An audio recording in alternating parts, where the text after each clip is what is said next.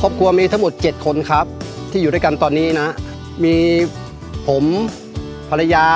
พ่อตา ลูกชายอีก 3 คนและผู้หญิงอีกหนึ่งคน ผมก็มีอาชีพขายอาหารตามสั่ง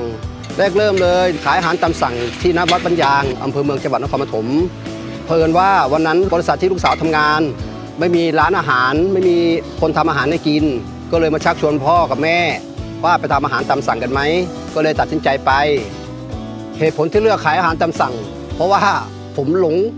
เสน่ห์ปลายจังหวะของแฟนที่ทำอาหารอร่อย และคนอื่นก็มาชมว่าแฟนนั้นทำกับข้าวอร่อย จนตัดสินใจเลยว่าเราทำอาชีพนี้ไปรอดแน่นอนและส่วนตัวผมเองก็ทำเป็นแต่ว่าไม่ได้เก่งเหมือนกับแฟน ก็พอทำได้มั่ง พอแทนกันได้มั่ง ส่วนที่ร้านมีเมนูเป็นผัดกะเพราไข่ดาวผัดกะเพราหมูไก่ผัดซีอิ๊ว แล้วก็ส้มตำมีเมนูหลากหลาย ส่วนเมนูเด็ดของร้านก็จะเป็นผัดกะเพราหมูกรอบ กรอบนอกนุ่มใน ขายของวันจันทร์ถึงวันเสาร์หยุดวันอาทิตย์ เริ่มจาก6โมงถึง5โมงเย็นทุกวัน ถามว่าทุกวันนี้เหนื่อยไหม ยอมรับกับตัวเองเลยว่าเหนื่อยอยากจะพัก แต่ถ้าเราไม่ทำมันก็ไม่มีรายได้อะไรเข้ามา หยุดไม่ได้เลย เพราะว่าถ้าเราหยุดแล้ว เราจะเอาเงินตรงไหนมาใช้จ่ายในบ้าน ไหนจะค่าน้ำค่าไฟ ข้าวก็ต้องซื้อ ก็เลยตัดสินใจทำเท่าที่ไหวทำเท่าที่ได้ จนกว่า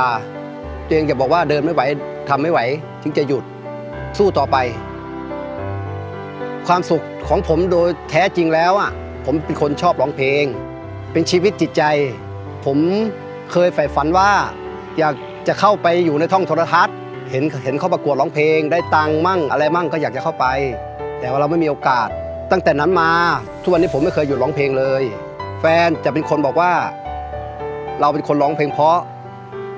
ร้องเพลงเก่ง ส่วนเป้าหมายที่เข้ามารายการโดนเพลงชิงทุนวันนี้ ผมอยากจะนำเงินรายได้มาเพื่อซ่อมแซมหลังคาบ้าน หน้าฝนทีหนึ่งลำบากมากเลยฝนหยด ฝ้ารั่ว ต้องเตรียมกระมังรองส่วนมากจะเป็นห้องนอนพราะเดี๋ยวเปียกเสื้อผ้าหมด จะได้นำเงินส่วนนี้มาซ่อมแซมราคาบ้าน ผมจะใช้เสียงของผมต่อทุนเพื่อคว้าเงินรางวัลในรายการเพื่อนำมาซ่อมแซมบ้านให้ได้ครับ ขอบคุณครับ